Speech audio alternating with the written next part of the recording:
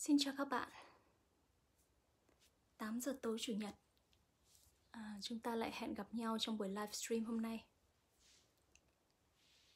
Thông thường thì mình làm à, livestream một lần mỗi 2 tuần.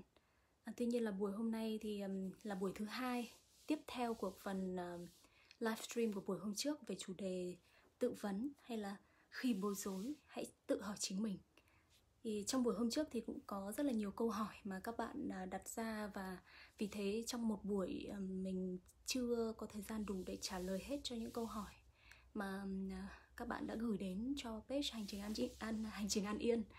Thế và mình nghĩ rằng những câu hỏi đó thì đều rất là khá là phổ biến này và rất là chung mà nhiều người đang gặp phải trong cuộc sống vì thế mà mình rất là muốn để trả lời được hết những câu hỏi uh, đặc biệt là những câu hỏi tiêu biểu đó. Và uh, bởi vậy mà hôm nay mình làm buổi thứ hai của cùng chủ đề này. Xin chào uh, chị Thùy Linh Phạm bạn Hoa yêu đàm cung bùi. À, cảm ơn các bạn đã tham gia buổi uh, livestream hôm nay. Và mình rất vui khi mà gặp lại uh, một số bạn mà đã tham gia buổi hôm trước. Và uh, có lẽ là trong buổi hôm nay thì mình sẽ dành ra một vài phút đầu tiên để um, tóm tắt lại một chút về phương pháp tự vấn. Và có có thể là vừa là nhắc lại cho những bạn mà đã theo dõi rồi để chúng ta cùng uh, đi vào guồng vào cái chủ đề này. Và những bạn mà chưa tham gia uh, buổi hôm trước thì cũng có thể là hình dung được rõ hơn uh, về nội dung của uh, chuỗi livestream này. Uh, chào thúy linh phạm. thế thì trong buổi hôm trước mình cũng đã phân tích kỹ về tự vấn là gì. Ờ, các phương pháp tự vấn mà chia theo những cái mục đích nhằm mục đích gì này ờ, rồi là vì sao cần phải tự vấn bản thân mình này. Thì mình xin nhắc lại một chút đó là ờ, bởi vì khi mà chúng ta bối rối thì chúng ta sẽ càng bị xa rời khỏi những những gì chân thật nhất, sâu thẳm nhất trong mình và vì thế mà khi càng bối rối thì chúng ta lại càng cần phải biết rõ mình thực sự cảm nhận như thế nào mình thực sự cần gì muốn gì. Và người khác sẽ không thể nào mà nói cho mình biết được những gì mà mình sâu thẳm nhất thực sự muốn thực sự cần thực sự là mình. Cho nên là chỉ có chính mình mới có thể đưa ra được câu trả lời cho mình mà thôi. Um, và vì vậy mà khi bối rối hay là khi uh, cần có một câu trả lời cần đưa ra một quyết định thì cần phải trở về. Tự hỏi chính mình tự hiểu chính mình thì chúng ta mới có thể đưa ra được lựa chọn đúng đắn quyết định đúng đắn và quan trọng nhất là phù hợp với bản thân mình ở thời điểm hiện tại. Thế thì tự vấn thì thường chúng ta sẽ phải là uh, tự đặt câu hỏi cho bản thân mình. Um, dành một cái khoảng thời gian không gian uh, chỉ có chính mình thôi để chúng ta có thể tập trung vào nhìn nhận cái quá trình suy nghĩ uh, À, những gì diễn ra ở trong nội tâm mình và đặt ra những câu hỏi then chốt để chúng ta có thể nhìn thấy được. Vốn dĩ chúng ta cảm thấy những gì mà chúng ta đang cảm thấy là do niềm tin gì trong chính mình. Và cái niềm tin đó có thực sự là toàn diện, đầy đủ và chính xác hay không? Và để mà phá vỡ được niềm tin đó, để có một cách nhìn đúng đắn hơn, rộng mở hơn, chân thực hơn, thì chúng ta sẽ cần đặt câu hỏi cho bản thân mình như thế nào?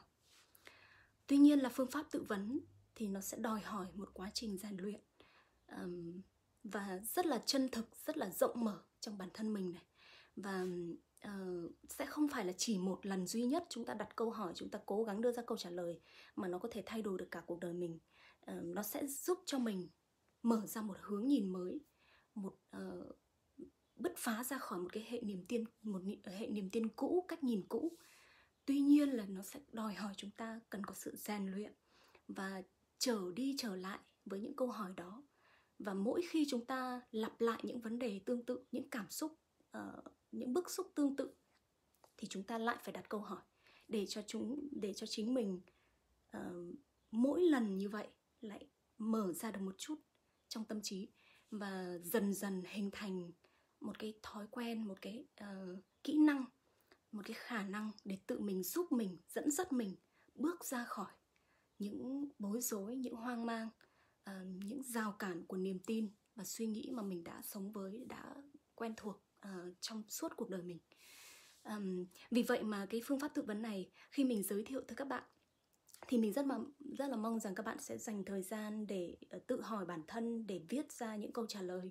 Và quan trọng nhất đó là các bạn sẽ sẽ lặp đi lặp lại cái phương pháp này và tự tạo cho mình một cái thói quen để dần dần uh, trong ý thức trong nhận thức của mình nó sẽ sẽ có một uh, khoảng lặng một khoảng cách giữa sự bột phát của cảm xúc suy nghĩ hành động với uh, sự soi xét lại chính mình. Khi mà có một cái khoảng cách đó một cái bước lùi lại đó thì chúng ta sẽ có khả năng để làm chủ cảm xúc suy nghĩ và hành động của mình hơn thay vì là bột phát ra những cảm xúc suy nghĩ hành động một cách uh, vô thức một cách bị lập trình um, theo những đà những thói quen từ quá khứ đến giờ. Thì tuy nhiên là trong phương pháp tự vấn ban đầu nó sẽ rất là khó khăn ở chỗ là bởi vì chúng ta vốn dĩ sống với niềm tin và cái cách phản ứng uh, những thói quen mà chúng ta đã quen hành xử trong quá khứ. Cho nên có thể là chúng ta sẽ rất là bế tắc trong việc là đặt câu hỏi gì à, làm như thế nào để phá vỡ được cái niềm tin những cái suy nghĩ vốn có của mình. À, thế thì có thể chúng ta sẽ cần sự chỉ dẫn và uh, dẫn dắt của một người có kinh nghiệm. Uh, đó có thể là um, người thân bạn bè nhưng cái quan trọng nhất đó là những người mà họ đã giải quyết được vấn đề của họ. Hay là à, những người cung cấp dịch vụ cũng được nhưng vấn đề là họ phải giải quyết được xong vấn đề của họ đã. Họ là một người có một cái cái sự tỉnh thức nhất định và đã giải quyết được vấn đề trong bản thân họ. Có nghĩa là họ tự nhìn thấy những rào cản trong niềm tin à, cách hành xử những sự bộc phát trong cảm xúc suy nghĩ hành động của chính mình và đã gỡ bỏ được nó. Thì những người đó sẽ là những người có khả năng để giúp đỡ dẫn dắt cho các bạn uh, trong quá trình tự vấn và quá trình giúp cho bản thân mình phá vỡ được những niềm tin cũ uh, và mở rộng cái góc nhìn uh, và nhìn nhận mọi thứ một cách uh, đầy đủ hơn toàn diện hơn và chân thật hơn. Um, sau buổi đầu tiên mà mình chia sẻ về về phương pháp tự vấn này thì mình cũng có nhận được một số uh, tin nhắn và câu hỏi của uh, những bạn mà đã theo dõi buổi hôm trước. Và mình cũng rất là vui khi mà các bạn um, uh, mở rộng uh, để mà chia sẻ để mà tìm đến một sự uh, dẫn dắt từ phía mình. Thì um, mình rất là mong rằng trong thời gian tới uh, mình có thể um, nhận được uh, những chia sẻ của uh, những người mà đang thực sự muốn giải thoát cho chính mình tìm ra con đường để giải phóng mình khỏi những đau khổ những bế tắc những sự quằn quại bối rối ở trong tâm trí. Và uh, trang hành trình an yên thì uh, mình có thể gọi là một trang phi lợi nhuận phi chính phủ. Uh, và vì thế các bạn hãy cứ rộng rộng mở hãy cứ tự tin um, gửi tin nhắn đặt câu hỏi và các bạn có thể nhận được um, những chỉ dẫn những sự chia sẻ um, hết lòng. Và và không không có đằng sau nó không có những cái mục tiêu để đạt được lợi ích cá nhân. Cho nên là mình ờ, mình hy vọng rằng những buổi chia sẻ này ờ, sẽ đến được với nhiều người hơn và chúng ta cùng lan tỏa những ờ, cái những cái phương cách giúp cho mỗi người có thể tìm thấy an yên trong chính mình và vượt qua được những đau khổ những bế tắc những dằn vặt hay đơn giản chỉ là những bối rối hoang mang trong một cái quá trình một cái uh, giai đoạn nào đó trong cuộc sống. Và vì vậy nếu như có thể thì ờ, mình rất là mong rằng các bạn sẽ chia sẻ uh, video uh, của buổi livestream buổi hôm trước và buổi hôm nay và những nội dung mà các bạn cảm thấy hữu ích cho bản thân mình. Các bạn hãy chia sẻ đến mọi người. Bởi vì đây là một một hành động một um, chuỗi uh, uh, sự kiện hay là uh, những cái hoạt động phi lợi nhuận phi chính phủ uh, chúng ta chia sẻ để mà lan tỏa để mà giúp đỡ chính mình giúp đỡ cho những người đang cần những cái um, cách thức những cái um, kinh nghiệm này mà mà có thể là chúng ta đã tìm kiếm rất lâu rồi mà không biết uh, rút ra từ từ những cái sách vở hay những cái khóa học mà chúng ta đã từng trải qua. Thế thì trong buổi hôm trước mình có nói qua về vấn đề tự vấn uh, về cái phương pháp chung hay là cái lộ trình chung. Thì tự vấn tức là khi mà chúng ta cảm thấy mất thăng bằng, mất sự sáng tỏ ở trong chính mình, tức là chúng ta đang bối rối, hoang mang, không biết phải làm sao, không biết mình muốn gì, cần gì, thì là lúc chúng ta cần phải lắng lại. Và đầu tiên, chúng ta sẽ tự hỏi mình rằng, cái cảm xúc này, cái sự việc đang diễn ra này, có phải là sự thật hay không? Hay nó chỉ là đang là cảm nhận của riêng mình, cái cách mình suy diễn cách mình tin, cách mình nhìn nhận vấn đề và tiếp nhận nó và cảm thấy nó là khó chịu, là buồn bực, là đau khổ, là dằn vặt, vân vân. Thì đầu tiên là chúng ta sẽ phải tự hỏi mình, nó là thật hay nó là suy diễn của cá nhân mình trong đầu mình? Thế và bước thứ hai trong quá trình tự vấn đó là chúng ta đặt những câu hỏi để chúng ta tự phát hiện ra niềm tin của bản thân mình về cái vấn đề đó vì sao chúng ta lại phải phát hiện ra cái niềm tin đó? Là bởi vì những cảm xúc những suy nghĩ lời nói hành động cách mà chúng ta tiếp nhận cảm nhận mọi thứ đến trong cuộc sống của mình được quyết định bởi việc mình tin vào điều gì. Tí nữa thì trong một số cái câu hỏi cụ thể mình sẽ phân tích uh, nó dễ hiểu hơn và rõ ràng hơn. Đây là mình đang khái quát lại cái phương pháp chung cái lộ trình chung của quá trình tự vấn. Uh, cái bước thứ ba của tự vấn đó là khi mà mình phát hiện ra là à hóa ra mình tin, đây là niềm tin của mình mình đang tin vào điều gì, thì mình sẽ phải tự mình phản biện niềm tin của chính mình. Bởi vì những niềm tin mà khiến cho mình cảm thấy bức xúc, bất an, bối rối, hoang mang, lo lắng, khó chịu, vân vân, không an yên ạ. Nói chung là không an yên. Thì những niềm tin này đều không hoàn toàn đúng, không hoàn toàn đầy đủ và toàn diện và không thực sự phản ánh hiện thực một cách chân thật nhất. Và bởi vậy chúng ta phải phản biện để chúng ta gỡ mình ra khỏi cái niềm tin uh, vững chắc rằng như thế này mới là đúng. Và mình đang hoàn toàn đúng trong cái niềm tin những, những cái hiện thực của mình. Khi mà chúng ta phản biện chính mình thì chúng ta mới có cơ hội để phá bỏ để bứt ra khỏi cái niềm tin đó và giải thoát cho mình khỏi những đau khổ dằn vặt bối rối trong tâm trí mình thì, cái việc phản biện là một cái công đoạn quan trọng nhất để chúng ta có thể bắt đầu bước ra khỏi những cái uh, niềm tin cũ những cái lối mòn của cách suy nghĩ hành xử cũ. Và từ đó mà chúng ta sẽ bắt đầu thiết lập một góc nhìn mới một niềm một niềm tin mới.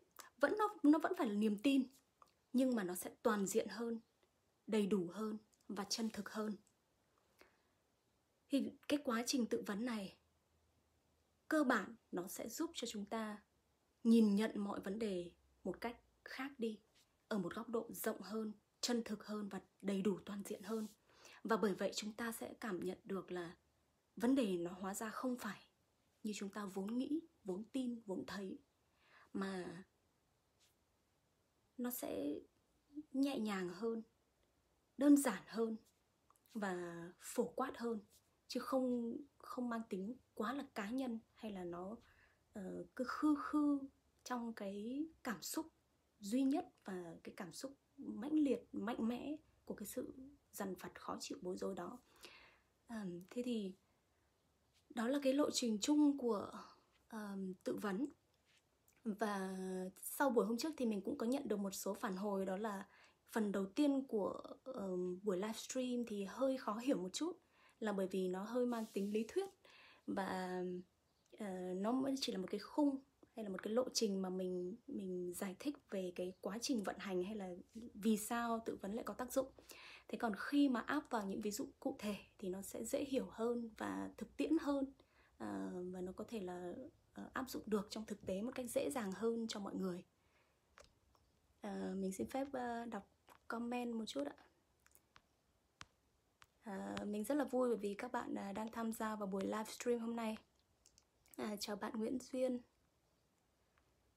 À, thì chào bạn uh, Hương Nguyễn nữa. Cảm ơn các bạn đã đồng hành cùng với hành trình An Yên và mình rất mong rằng là những nội dung này có tác dụng ở mức độ nào đó trên um, con đường uh, giúp cho các bạn tìm thấy an yên trong chính mình và vững vàng hơn trên hành trình của mình. Và hãy cùng lan tỏa những cái thông điệp này đến mọi người um, bây giờ có lẽ là mình sẽ đi vào một số câu hỏi cụ thể. Và những câu hỏi cụ thể này đã được lựa chọn bởi vì nó là những câu hỏi rất phổ biến. Và mình nghĩ rằng là gần như là đa số mọi người trong xã hội thì đều có những giai đoạn trong cuộc đời mà gặp phải những tình huống này. Cho nên là những câu hỏi này thì um, mình uh, có chọn lọc. Và có có thể là có điều chỉnh một chút để cho nó à, à, áp được với số đông uh, để uh, uh, qua những buổi livestream thì uh, mọi người có thể tìm thấy một cái góc độ nào đó áp dụng được vào chính hoàn cảnh chính cuộc sống của mình. Thì uh, câu hỏi thứ nhất thì mình xin phép được đọc nguyên văn chưa ạ? Đó là tôi 30 tuổi làm nghề viết lách tự do thỉnh thoảng dịch thuật cho dự án cũng đã qua một vài mối tình mà không đi đến hôn nhân gần đây càng ngày càng nhiều áp lực từ bố mẹ tôi họ hàng kể cả bạn bè. Người thì phê phán người thì dèm pha sau lưng. Có người thì mỉa mai cho rằng tôi thật là thất bại. Sự nghiệp chẳng ra sao lại là gái ế. Có lần tôi cũng nghĩ là hay là cứ làm đám cưới theo ý bố mẹ. À, một người có đủ điều kiện về kinh tế học vấn nghề nghiệp. Nhưng cho dù hẹn hò và anh ta rất là nhiệt tình nhưng tôi vẫn cảm thấy sợ hãi rằng rồi người ta cũng sẽ chia tay tôi với lý do rằng tôi hời hợt thờ ơ. Có lúc tôi hoang mang hay là mình có bệnh giới tính này, ngày xưa mình cũng nghĩ thế. Hay là đòi hỏi quá cao trong một mối quan hệ này. Tôi cũng đọc nhiều sách báo nhưng cũng chưa tìm ra được là rốt cục tôi muốn sống như thế nào và làm sao để đối diện với những định kiến của người xung quanh. Thế thì vấn đề này à, chắc là các bạn nữ ở độ tuổi 25 đến 30 rất là thường gặp đặc biệt là sau 30 lại càng bị à, áp lực nhiều hơn đúng không ạ? Thì à, ở trong câu hỏi này mình thấy có hai vấn đề chính mà chúng ta sẽ cần giải quyết độc lập. Vấn đề thứ nhất đó là sự áp đặt từ bố mẹ hay là sự phê phán dèm pha sau lưng của bạn bè và mọi người trong xã hội họ hàng rồi những người thân quen hay là đồng nghiệp ờ, rằng là uh, ế ẩm rồi là thất bại rồi sự nghiệp không ra sao. Thì đây là vấn đề thứ nhất mà chúng ta sẽ cần phải giải quyết. Vấn đề thứ hai trong câu hỏi này đó là về vấn đề chuyện tình cảm. Rằng là hẹn hò nhiều dù là cái người đó rất là nhiệt tình nhưng mà mình vẫn rất là lo lắng rằng là rồi người ta sẽ bỏ rơi mình chia tay mình.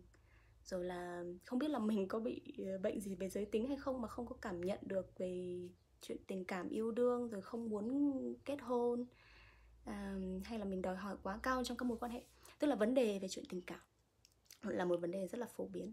Thì bây giờ chúng ta sẽ đi trước vào cái vấn đề thứ nhất đó là khi gặp những vấn đề như là áp lực từ bố mẹ này họ hàng bạn bè những phán xét đánh giá mỉa mai của mọi người ví dụ bạn bè đồng nghiệp uh, bà con hàng xóm rồi uh, những người mình thậm chí không quen biết.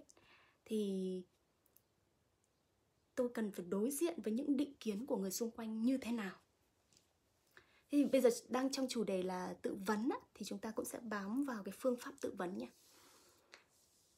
Thế thì như hôm trước mình cũng có giới thiệu về phương pháp tự vấn và cũng có nói rằng là khi mà muốn giải quyết được vấn đề về nội tâm chúng ta sẽ nên dành thời gian để ngồi xuống viết ra những gì đang khiến cho mình cảm thấy bối rối bức xúc buồn bực uh, không giải quyết được trong tâm trí. Chúng ta sẽ viết hết ra tất cả những gì chúng ta đang suy nghĩ đang cảm nhận uh, đang cảm thấy bế tắc. Khi mà viết hết ra xong rồi thì chúng ta sẽ bắt đầu ngồi lại đọc lại những dòng chữ mình đã viết và bắt đầu nhìn nhận phân tích một cách uh, tách biệt một cách độc lập thay vì là chúng ta bị cuốn theo những dòng cảm xúc những dòng suy nghĩ những sự việc đang diễn ra thì chúng ta sẽ sẽ có thể nhìn thấy nó một cách uh, tách biệt khỏi bản thân mình bằng cách là nhìn thấy nó trên giấy đọc trên giấy giống như một câu chuyện của một người khác. Thì nó cũng sẽ giúp cho chúng ta có thể là nhìn mọi thứ nó được khách quan hơn. Thế thì câu hỏi đầu tiên mà chúng ta luôn luôn phải tự hỏi mình khi mà muốn giải quyết một vấn đề gì đó trong tâm trí đó là đây là sự thật hay đây là những mường tượng, những suy diễn trong trí óc mình?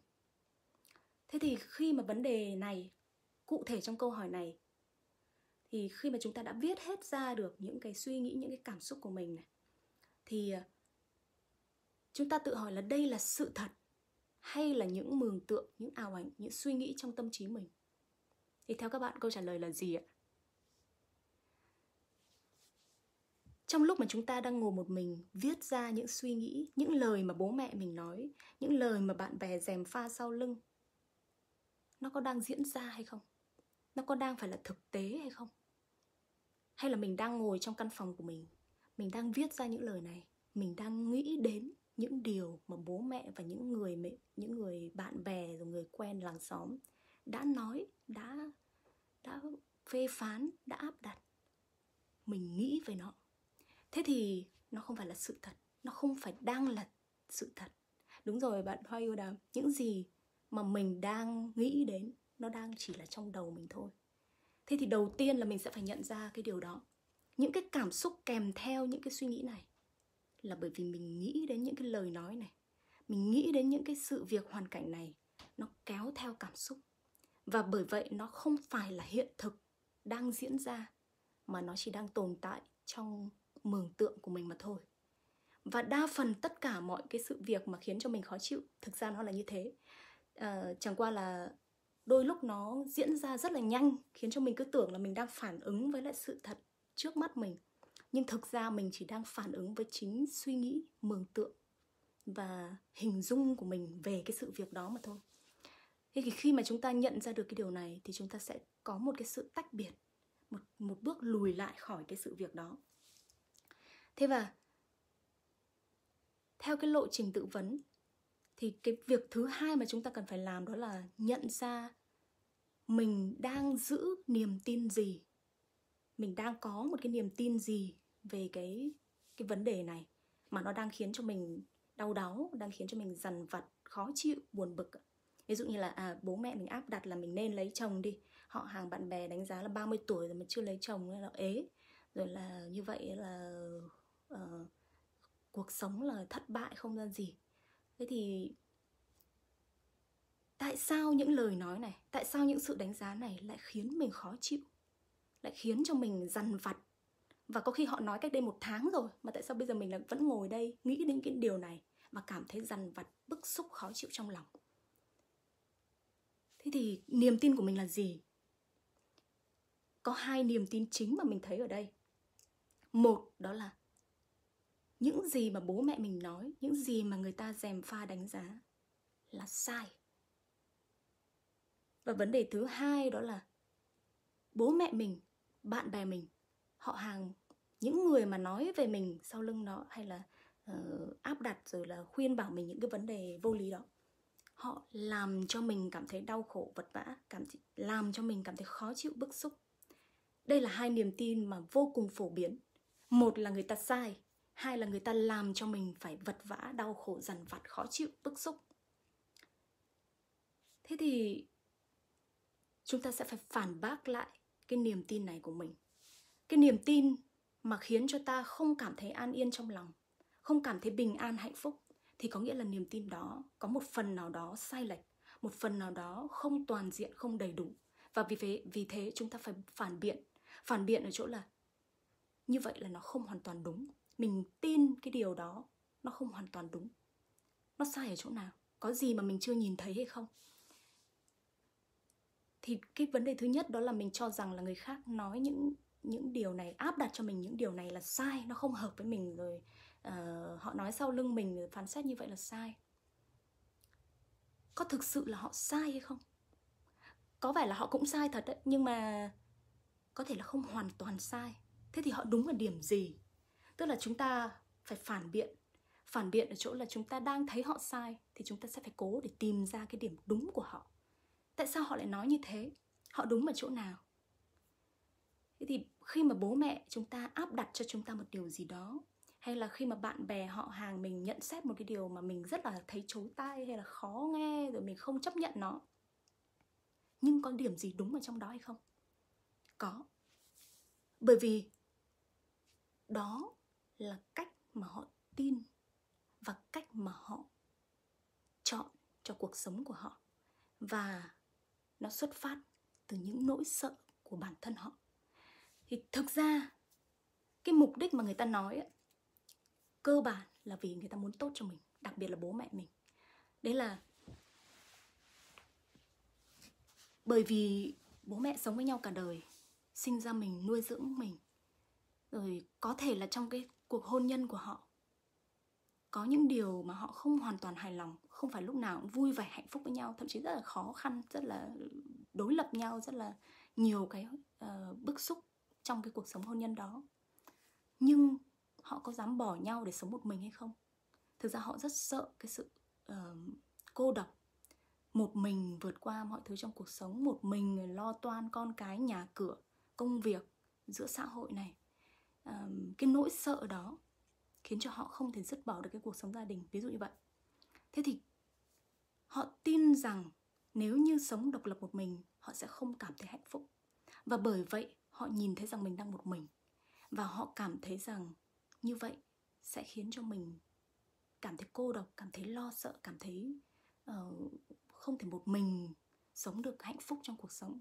Đấy là niềm tin và nỗi sợ của họ khiến cho họ nói ra cái sự thật của họ. Đối với họ đấy là sự thật mà. Cho nên là họ không sai. Dựa trên niềm tin, hệ quy chiếu và những nỗi sợ hãi của một người thì cái lời người ta nói ra là hoàn toàn đúng sự thật trong hệ quy chiếu của họ. Chẳng qua là nó có thể không khớp với hệ quy chiếu của mình mà thôi. Vì vậy, khi mà chúng ta nghĩ rằng người ta sai, thì đó chỉ là một cái nhận định phiến diện từ phía góc độ riêng của chúng ta mà thôi.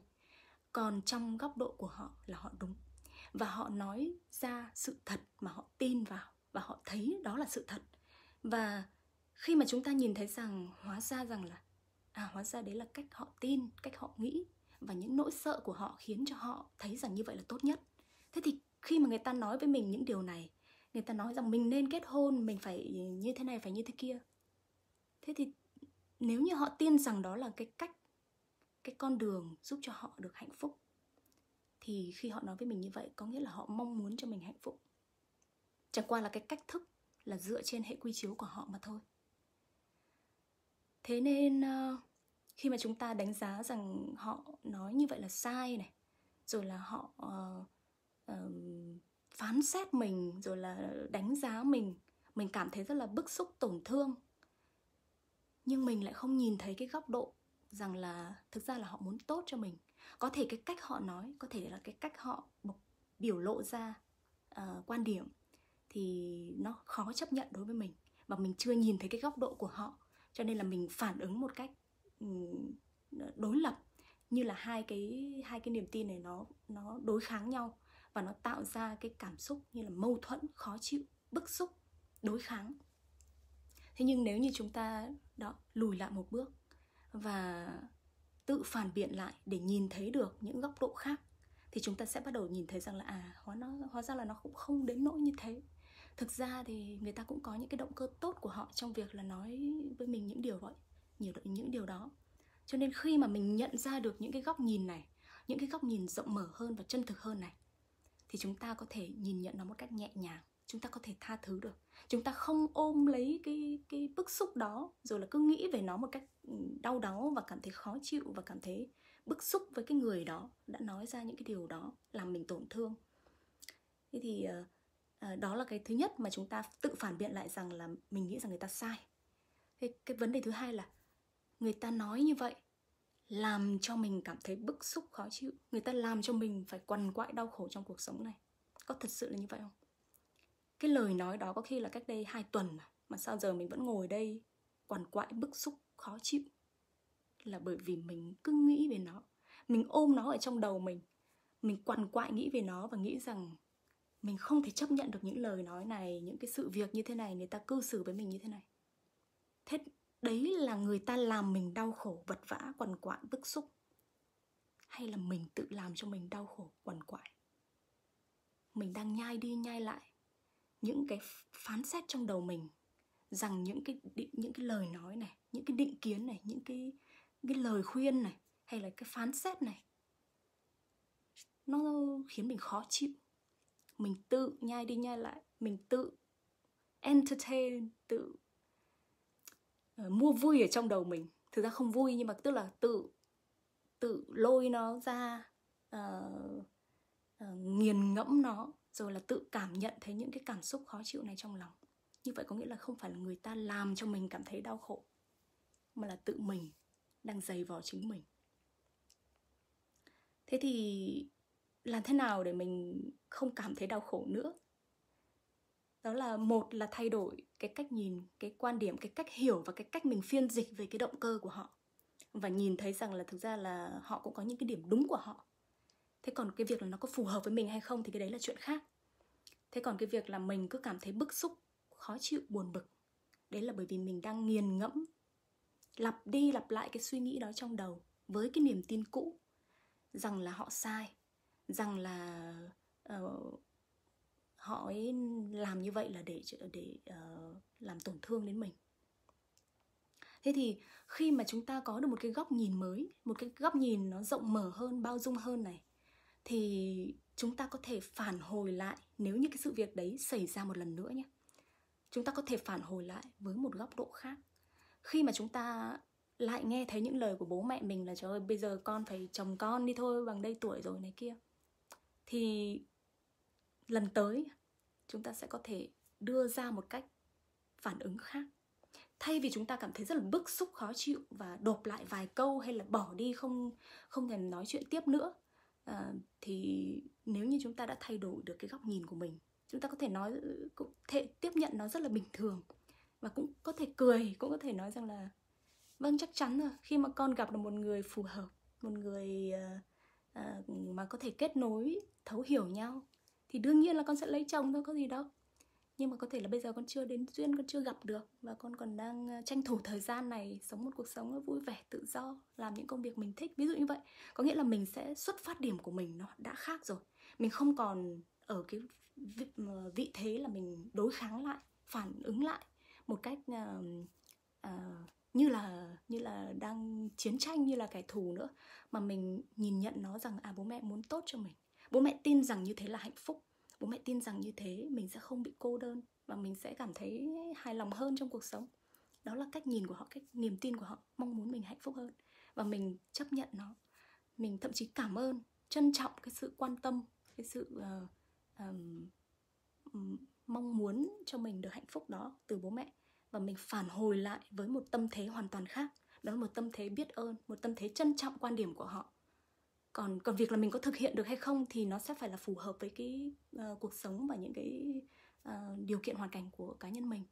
Nhưng mình không còn cảm thấy đó là một cái sự áp đặt phán xét nữa mà mình thấy nó là một cái sự uh, uh, xuất phát từ yêu thương xuất phát từ sự quan tâm.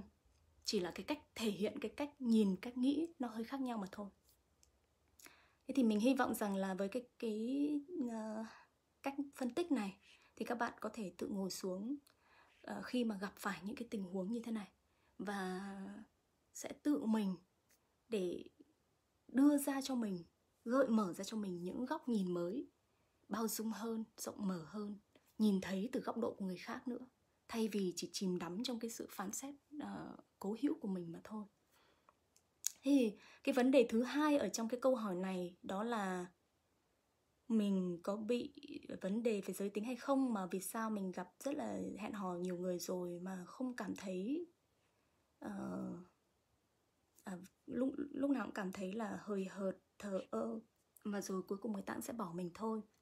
Thế thì vấn đề về chuyện tình cảm này cũng là một vấn đề rất phổ biến. À, mình mình cũng tin rằng là rất nhiều người à, đặc biệt là phụ nữ mình rất là hay trằn trọc trong những cái câu hỏi này những cái vấn đề này đó là uh, mình rất là lo sợ rằng là người ta sẽ đến một lúc nào đấy sẽ chán mình bỏ mình. Rồi uh, tại sao mình không cảm thấy một cái sự passion uh, kết nối mạnh mẽ mãnh liệt với cái người mình hẹn hò đó rồi cuối cùng mãi cũng không đi đến được hôn nhân? Thì um, trong câu hỏi này thì thực ra thì câu hỏi này mình thấy rằng để mà tự vấn được sẽ hơi khó bởi vì nó có rất nhiều vấn đề về tâm lý liên quan.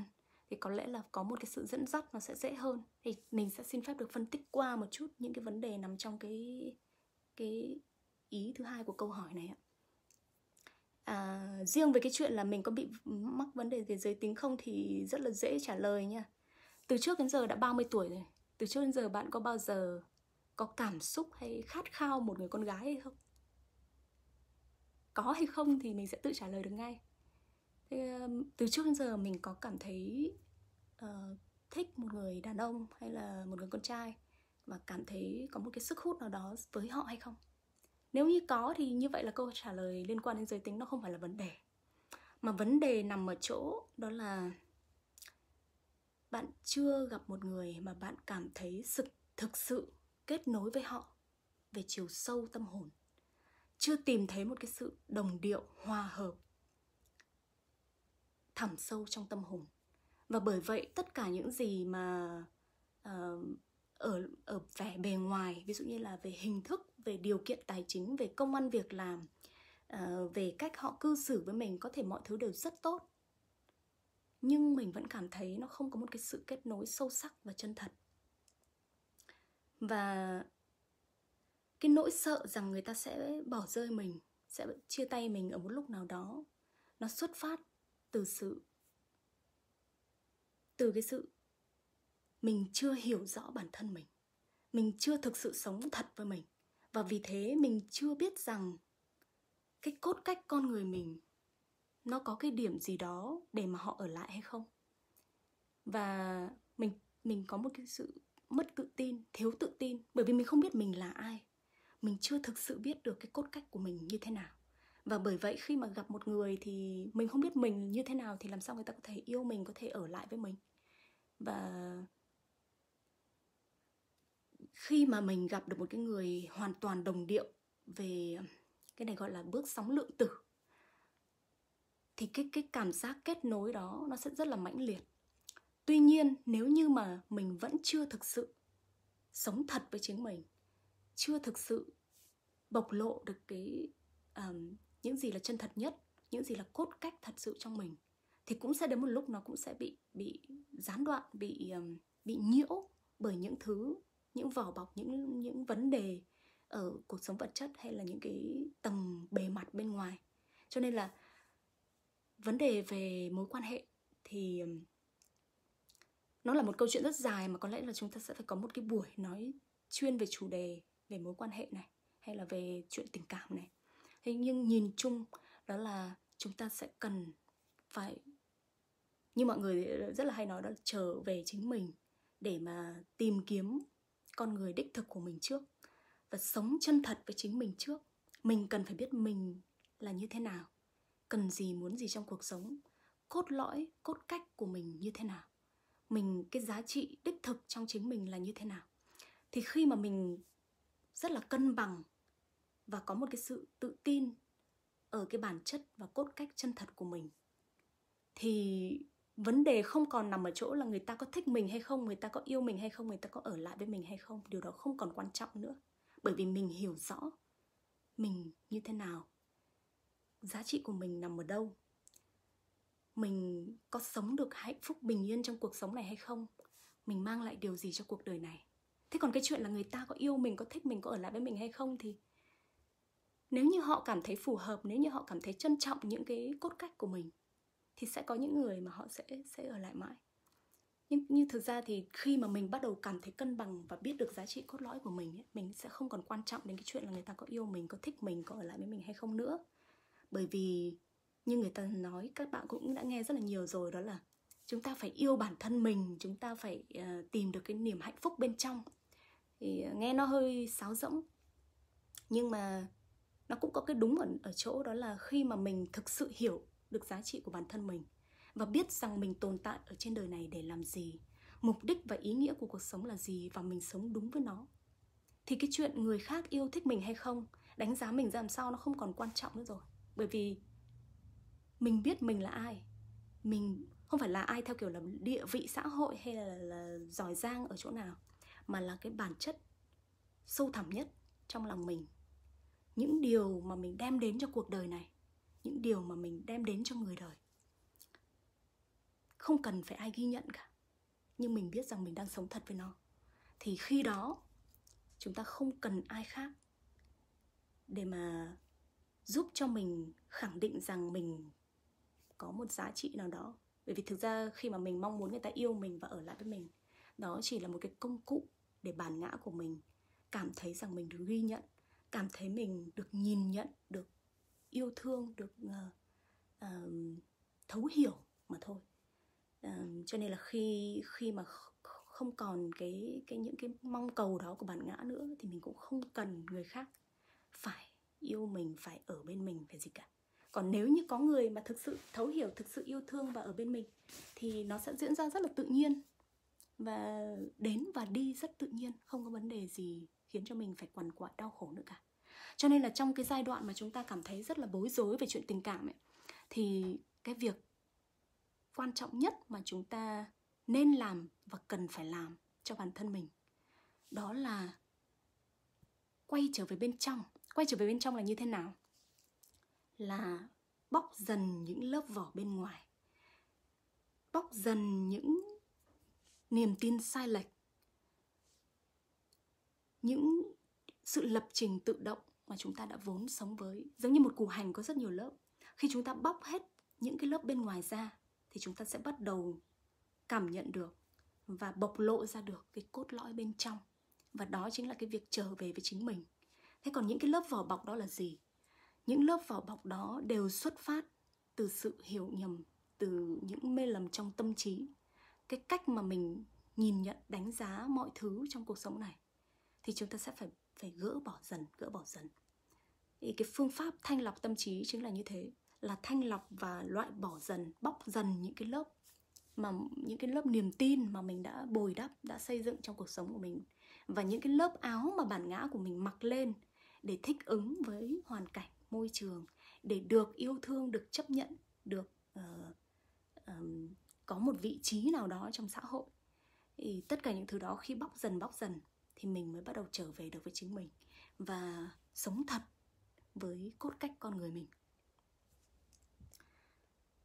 Mình uh, thấy có một số câu hỏi vừa rồi mình uh, tập trung vào việc trả lời câu hỏi vừa rồi nên là mình uh, xin chào Hà Mai Hương. Mình bây giờ mới bắt đầu đọc kỹ các cái câu uh, uh, câu hỏi hay comment của các bạn. Uh, những gì. Lúc tôi thua lỗ trong một thương vụ thất nghiệp và ôm một đống nợ tôi thấy thất vọng tràn trề sao tôi lại thiếu may mắn đến thế? Dù đã rất nỗ lực học tập làm việc và phát triển sự nghiệp cuộc đời thật quá bất công. Vậy tôi cần hỏi mình điều gì đây? À, câu hỏi này mình đã trả lời trong buổi hôm trước. Thì uh, xin mời bạn uh, Megan có thể uh, xem lại video của buổi tư vấn số 1 vậy à, khi bối rối hãy tự hỏi chính mình nó ở phần cuối của um, buổi hôm đó. Um, mình thấy có một comment của bạn Hoa yêu đàm đó là bữa nào chị chia sẻ về tổn thương của đứa trẻ bên trong? Ờ, tổn thương của đứa trẻ bên trong là một vấn đề rất chính yếu. Trong uh, quá trình mà chúng ta tìm tìm lại bản thân hay là trở về với chính mình à, bởi vì tất cả những cái nỗi sợ thì nó xuất phát cơ bản đều xuất phát từ cái thời thơ ấu. Và cái đứa trẻ đó chúng ta mang theo uh, trong suốt cuộc đời. Thực ra nếu như nhìn thật là kỹ tất cả những người lớn những người già thậm chí là người già đó trong xã hội này đều có một cái nét gì đó rất là trẻ con. Đều có những cái nỗi sợ những cái mà người ta vẫn chưa vượt qua được từ khi còn bé. À, chúng ta luôn luôn sống với cái đứa trẻ bên trong mình.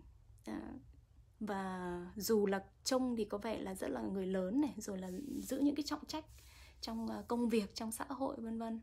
Nhưng mà cái cách mình nhìn nhận cái cách mình phản ứng với uh, sự việc xảy ra xung quanh thì cơ bản vẫn là những nét mà mình đã uh, mang theo từ khi còn bé.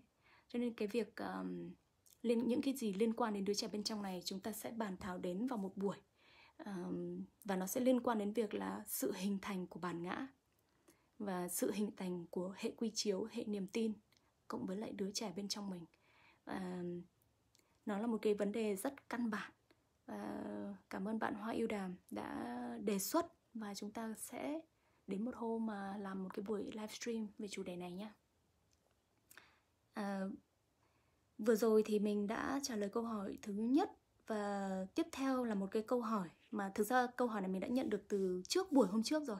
Nhưng mà mình đặt sau cái câu hỏi vừa rồi bởi vì nó có liên quan đến cái phần chuyện tình cảm này. Thì à, mình xin phép được đọc câu hỏi này. Tôi từng có một gia đình đủ đầy và hạnh phúc. Đoạn này là đoạn đến khi mà kết hôn có gia đình nha. Tôi nỗ lực làm việc nhiều hơn để kiếm nhiều tiền hơn. Mong muốn cuộc sống gia đình ngày càng sung túc hơn. Nhưng gần đây tôi nhận ra khoảng cách giữa tôi với vợ mình chồng mình ngày càng xa. Tôi không còn hiểu rốt cục cô ấy hay anh ấy muốn gì. Và tôi cũng không tìm được sự đồng cảm an ủi nào từ phía cô ấy anh ấy cho sự nỗ lực và vất vả của mình. Bế tắc, muốn buông tay, nhưng không nỡ. Tôi phải đối thoại với mình từ đâu để gỡ rối? Thế thì mình đặt câu hỏi này sau câu hỏi lúc nãy bởi vì là khi mà chúng ta chưa kết hôn thì chúng ta cũng hay rất là quằn quằn quại nhiều lần rằng là không biết là đến bao giờ mình mới gặp được một người thực sự yêu thương thấu hiểu mình. À, hay là người ta rồi sẽ đến lúc bỏ rơi mình chia tay mình. À, và chúng ta thường nghĩ rằng hôn nhân là happy ending. Giống như trong các cái uh, chuyện uh, những cái phim hay là những câu chuyện lãng mạn thì thường khi mà một đôi tình nhân được đến với nhau kết hôn với nhau thì chúng ta nghĩ rằng đó là happy ending nhưng có thật sự đấy là ending hay không? Hay nó mới chỉ là một sự bắt đầu? Thì nó là happy ending của một câu chuyện tình nhưng nó lại bắt đầu một cái, cái giai đoạn mới của hôn nhân. Và lúc đó chúng ta lại đối mặt với những cái uh, thử thách mới những cái va chạm những cái trải nghiệm mới trong một cái chặng đường hoàn toàn mới với một bối cảnh mới. Thì khi mà bắt đầu cuộc sống hôn nhân thì theo nghiên cứu khoa học nha, là một, hai năm đầu thì chúng ta sẽ sống trong một cái giấc mơ màu hồng. Mọi thứ rất là đẹp, rất là vui, rất là ấm áp. Và thường thì sau 2 năm trở đi, thường thôi, cũng có những đôi mà lâu hơn, có những đôi sớm hơn, thì chúng ta bắt đầu đối diện với thực tế. Và mình nghĩ rằng chắc phải đến 99% các đôi vợ chồng trong xã hội thì đều có những cái vấn đề khúc mắc đều có những cái mâu thuẫn những cái không hòa hợp những cái thời điểm mà cảm thấy không hạnh phúc và đôi lúc rất là băn khoăn rằng có nên buông tay hay không. Vì thế nên câu hỏi này mình nghĩ rằng nó là một cái chủ đề rất phổ biến một cái vấn đề rất phổ biến mà nhiều uh, cặp đôi nhiều gia đình gặp phải. Thế thì um, uh, những cái vấn đề liên quan đến chuyện tình cảm này và những cái mối quan hệ thường nó kéo theo rất là nhiều vấn đề liên quan đến tâm lý và những uh, những mấu chốt của vấn đề này nó bắt đầu phát sinh từ khi chúng ta còn rất bé. Uh, những niềm tin khởi phát từ từ thời thơ ấu. Tuy nhiên là trong cái khuôn khổ của chủ đề tự vấn thì mình sẽ đưa ra uh, cái um, cách cách thức mà chúng ta có thể áp dụng vào cái trường hợp này. Um, và chúng ta sẽ quay trở lại để hỏi đi hỏi lại bản thân mình những câu hỏi mà sau đây mình sẽ xin được phép đề xuất để giúp cho mỗi người có thể tự mình gỡ rối được một phần nào đó à, trong cái cuộc sống hôn nhân hay là trong một cái mối quan hệ. Đôi khi có thể là chưa kết hôn nhưng mà trong mối quan hệ thì cũng có những lúc chúng ta gặp phải những cái vấn đề này. À, trong cái câu hỏi này thì chúng ta cái lộ trình có thể nó sẽ hơi khác một chút so với cái lộ trình chung mà mà hôm trước và đầu buổi hôm nay mình đã nói đến. Thì trong cái buổi à, trong cái câu hỏi này thì bởi vì nó là một cái quá trình diễn biến tâm lý khi mà đọc câu hỏi thì nó là một cái diễn biến tâm lý.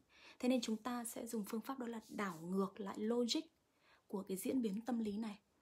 Thì chúng ta sẽ bắt đầu với những khi mà chúng ta tự viết ra nha tự viết ra những cái suy nghĩ những cái cảm xúc này xong ấy, chúng ta sẽ đặt câu hỏi phản bác lại niềm tin của mình lần lượt từ cuối trở lên. Tức là lật ngược lại logic của quá trình diễn biến tâm lý này. Thì um, chúng ta sẽ bắt đầu lại từ dưới lên với câu hỏi đầu tiên đó là ở cuối bạn nói rằng là bế tắc muốn buông tay nhưng không nỡ. Ý bạn là bạn thực sự muốn buông tay hay không? Chúng bạn nên hỏi mình câu hỏi có thực sự là mình muốn buông tay hay là mình chỉ nói thế thôi? Và từ không nỡ ở đây nha.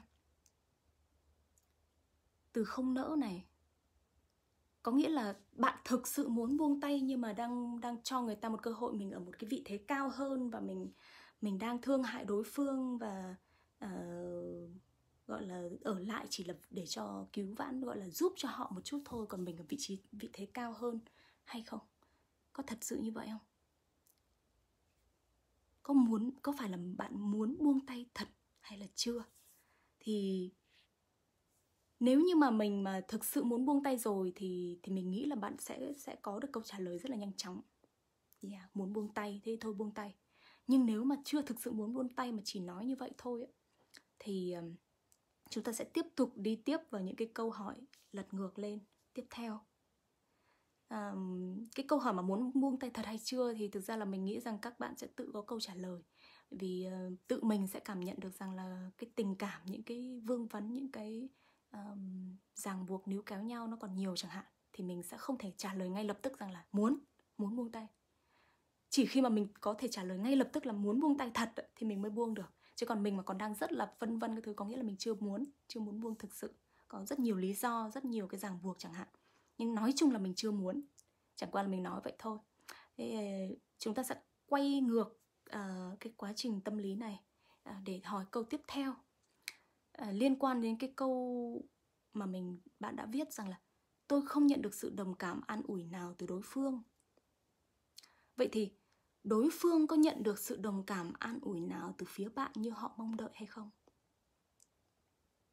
Lúc bạn căng thẳng buồn bực này thì bạn có tâm sự ngọn ngành với lại đối phương hay không? Hay là chỉ tỏ ra cái sự bực bội khó chịu mệt mỏi căng thẳng sau những cái giờ làm việc vất vả sau những cái stress ở công việc những cái mối quan hệ trong công việc và mình chỉ có thể hiện ra cái sự bực bội ờ, bực bội mệt mỏi cáu gắt đó thôi?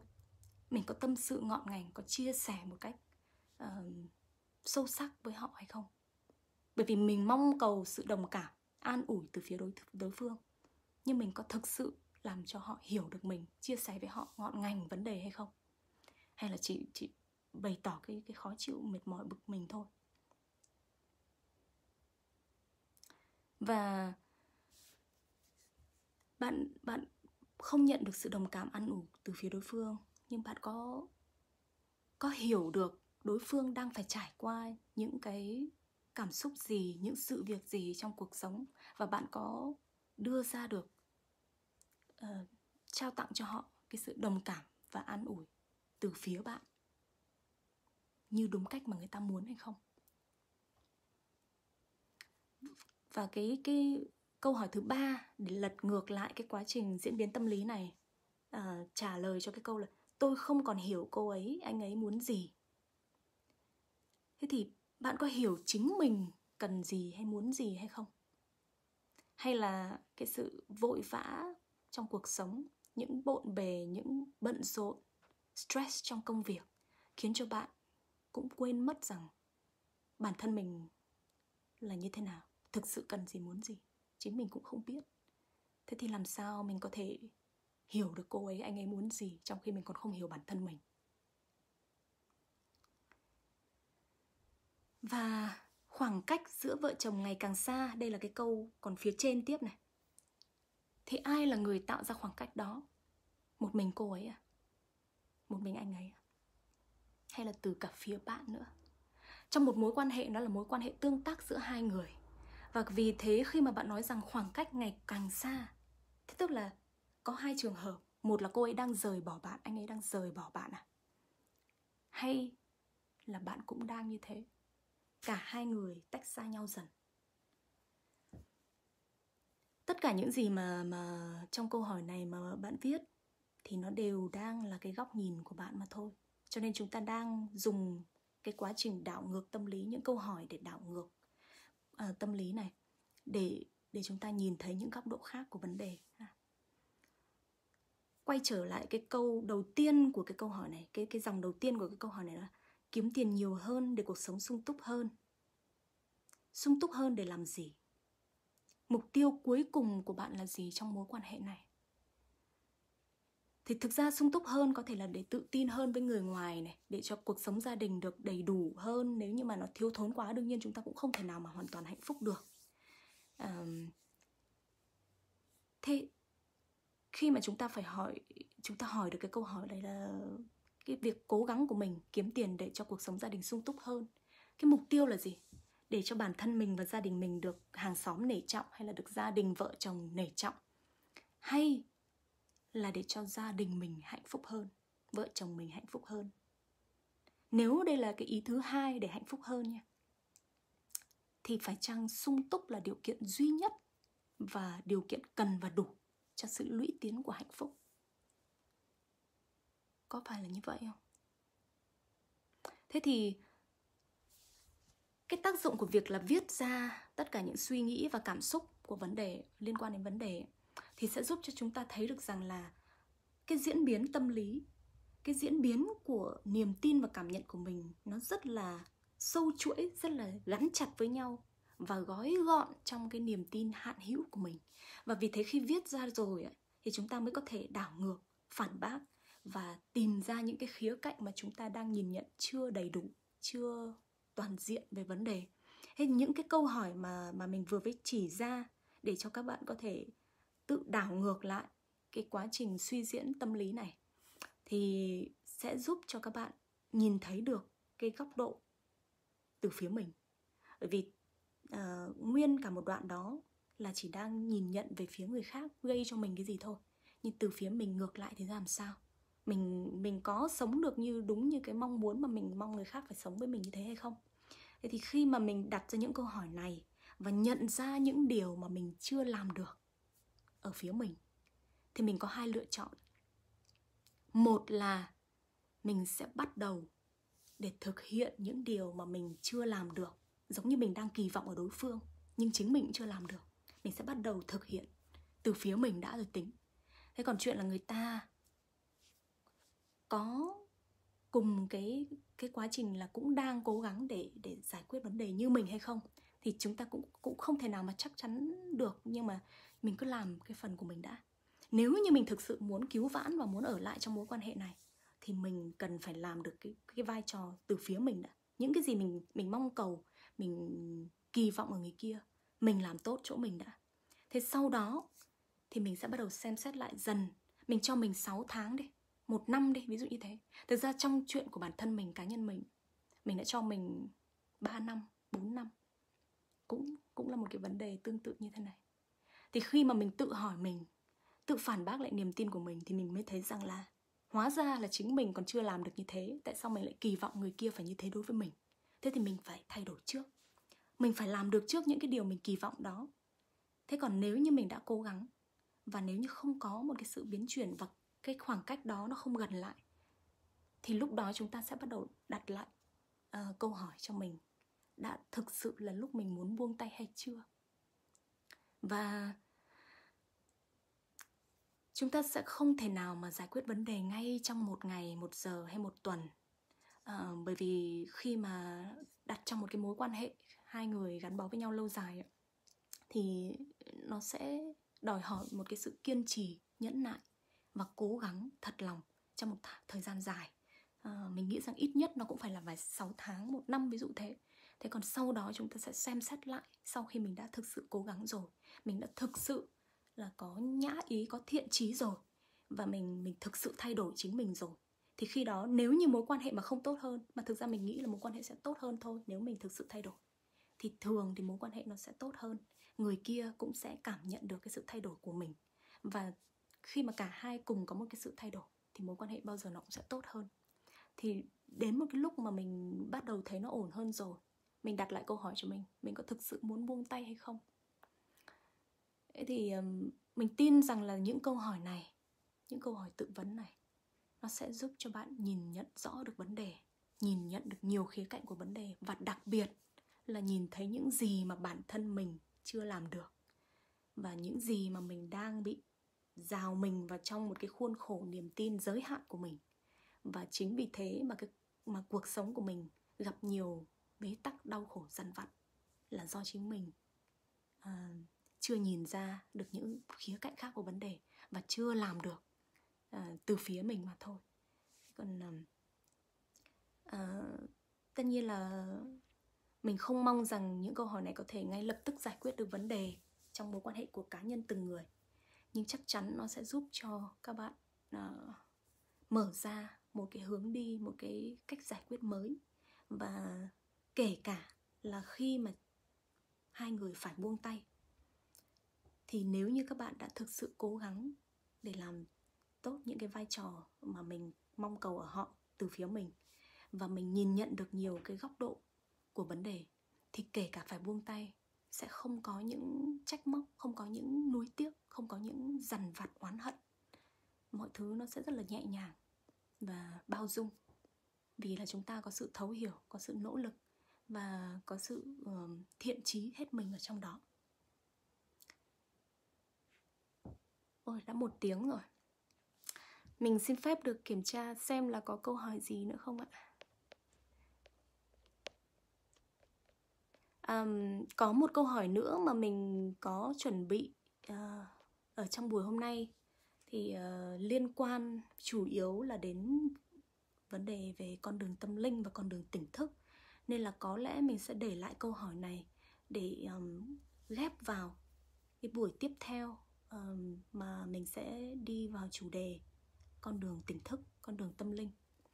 À, tỉnh thức là gì? Thực chất là như thế nào? Năm giai đoạn chính của tỉnh thức những dấu hiệu của tỉnh thức những dấu hiệu của uh, việc của sự sự không thích hợp không tương thích của một tầng ý thức và nó đẩy mình tiếp uh, tiến lên tầng ý thức tiếp theo. Những cái vấn đề đó mình sẽ dành một buổi cụ thể um, để bàn thảo kỹ hơn.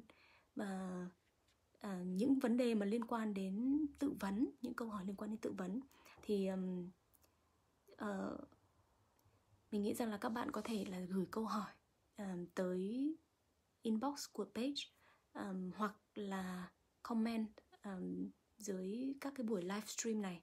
Và mình sẽ uh, nhắn tin lại um, tới các bạn và um, trong từng cái tình huống cụ thể trong từng cái câu hỏi cụ thể mình có thể um, giúp các bạn um, đưa ra được những cái câu hỏi để giúp các bạn tự um, mở rộng cái cái cách nhìn cái góc nhìn và bắt đầu phá vỡ được dần những cái niềm tin um, giới hạn mà các bạn uh, đang sống với. Và nó gây nên những cái bối rối bức xúc uh, không an yên ở trong lòng. Và mình mình rất là hy vọng rằng sau hai buổi livestream về chủ đề tự vấn này thì um, uh, những người mà có theo dõi sẽ thử thực hiện. Và rất mong rằng các bạn sẽ có một cái sự kiên trì nỗ lực và dành thời gian cho chính mình để uh, giúp cho chính mình gỡ bỏ dần những tầng những lớp của những cái hệ niềm tin sai lệch này. Và đây là con đường duy nhất để có thể vượt qua khỏi những dằn vặt đau khổ trong tâm trí trong nội tâm. Uh, con đường giải thoát mà đức phật nói đến thực ra đạo phật đưa ra rất nhiều những cái uh, lễ nghi những cái cách thức những cái uh, quy định hay là những cái bài giảng. Nhưng chung quy lại con đường mà đức phật tìm ra để giúp nhân loại giải thoát giải thoát khỏi đau khổ đó là giải phóng chính mình khỏi những đau khổ nội tâm những niềm tin sai lệch những cách mình uh, phiên dịch phán xét về những gì đang diễn ra trong cuộc đời mình cơ bản là như vậy thôi. Cho nên là chúng ta sẽ phải bắt đầu, chúng ta sẽ phải nỗ lực để dành thời gian ngồi với chính mình, giải quyết từng vấn đề, phản bác từng niềm tin của chính mình thì chúng ta mới bắt đầu bứt phá được ra khỏi cái vỏ bọc vậy cái rào cản, cái tù ngục của đau khổ và giải phóng chính mình, tìm thấy sự bình yên, an yên trong cuộc sống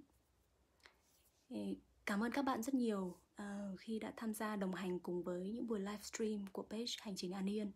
Và mong rằng các bạn hãy chia sẻ những nội dung ờ, có ý nghĩa mà các bạn cảm thấy giúp ích được cho bản thân hay những người mà các bạn biết là đang cần đến những thông tin này, những cách, những cái sự chỉ dẫn này. Và ờ, cảm ơn các bạn đã đưa cho mình những gợi ý cho những chủ đề tiếp theo và mình đã có hai ý tưởng đó là một là về con đường tỉnh thức và hai đó là về chuyện tình cảm. À, vượt qua được những vấn đề à, những đau khổ trong chuyện tình cảm ha. Thì, um, chúc các bạn một buổi tối vui vẻ và rất là mong rằng sẽ gặp lại các bạn trong buổi livestream tiếp theo. À, cảm ơn các bạn đã đồng hành. Chào các bạn.